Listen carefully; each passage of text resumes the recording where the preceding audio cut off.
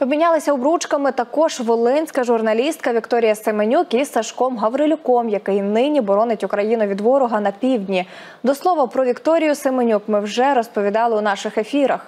Жінка працює в гарячих точках, пише інтерв'ю під обстрілами, аби показувати усьому світу реалії війни в Україні.